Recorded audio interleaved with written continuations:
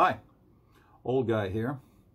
Uh, a lot of you have figured out by now that there's not a lot of production values on this channel.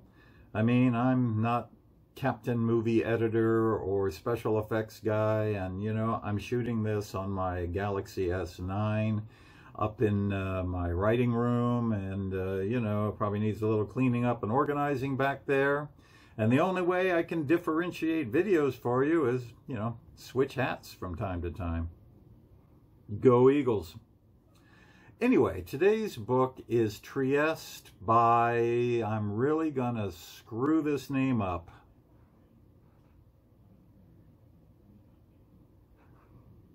Dasa Derndik. That's probably the closest I can do, and I apologize to whatever ethnic group I have just now offended. Anyway, this novel is devastating. That's my one word summary of this very hard to read book.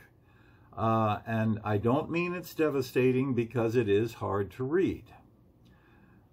It's devastating because of the story, which makes struggling through it worth it. And what a story.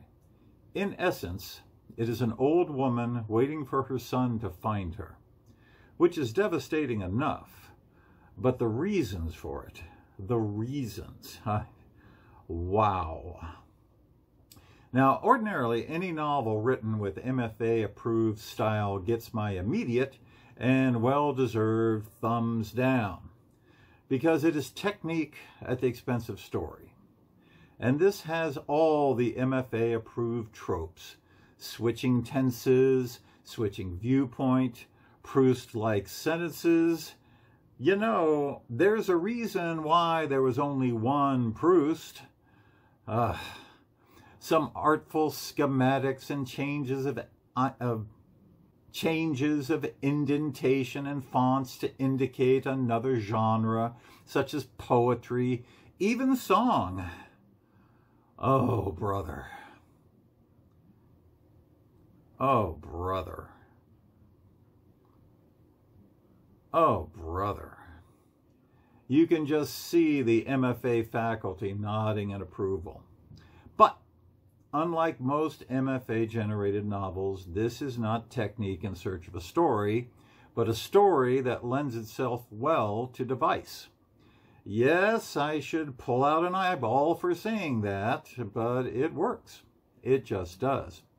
For example, one of the most powerful sections of the entire novel is a simple list 9,000 names of deported Jews. And I tell you, the last 68 pages just blew me away. Read it. Old guy here. See you later.